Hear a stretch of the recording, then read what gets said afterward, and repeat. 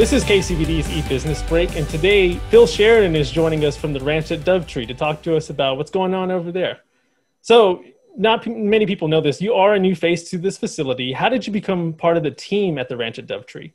Yeah, I'm a, I'm a clinical social worker by background. I actually most recently was involved with the company open up, opening up a new acute care psychiatric hospital in Boise, Idaho.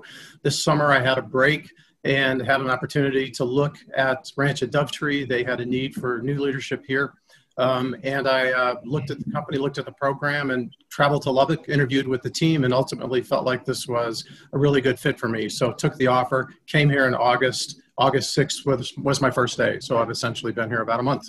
During the time of, of the pandemic, what precautions are being taken for patients at the. Yeah, so this, yeah, this has been kind of an emerging best practice uh, model, right, for almost any healthcare provider. So, I mean, over time, as we've been able to adapt and adjust to new data as it emerges, we've continued to improve our, our safety protocols, which are which are numerous at this point. So, we have a we have a uh, 100% track record right now of keeping our residents safe from any COVID outbreaks, which is pretty amazing. We do a lot of daily temperature testing of employees. We have lots of screening that we employ for everybody that comes on campus.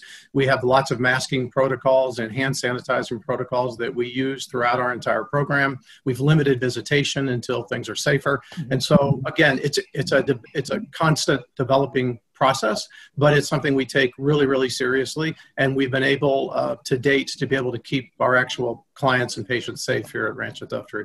Phil Sheridan, CEO at the Ranch at Dove Tree. Thank you for joining us. Yeah, thanks so much, Sean. I appreciate the opportunity.